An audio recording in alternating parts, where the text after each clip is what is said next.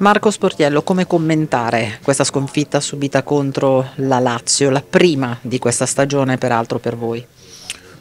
Ma è, è stata una sconfitta che ci insegnerà molto sicuramente.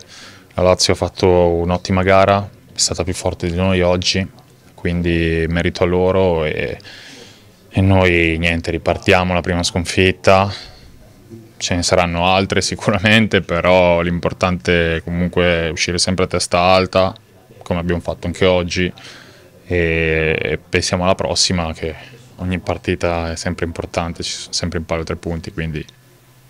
Uscire a testa alta, eh, pensare alla prossima, ma lo spogliatoio, i, i, i, diversi giovani che avete anche in squadra, come, come hanno preso questo, questo knockout?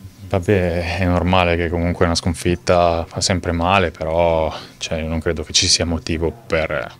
Abbiamo fatto grandi risultati, abbiamo vinto a Roma, abbiamo pareggiato col Milan, abbiamo vinto col Torino, abbiamo vinto con la Fiorentina e abbiamo pareggiato a Udine, che comunque era una partita che potevamo far nostra.